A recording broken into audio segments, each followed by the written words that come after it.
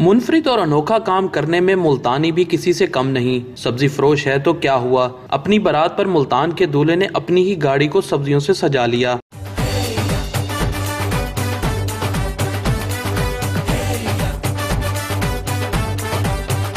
صدیق نامی دولہ عرصہ دس سال سے سبزی فروخت کرنے کا کام کر رہا ہے اور سبزیوں سے اتنا لگاؤ کہ گاجر، ٹماٹر، گوبھی لیمو اور چکندر سمیت مختلف سبزیوں سے سجی گاڑی لے کر اپنی دلہنیاں لینے پہنچ گیا۔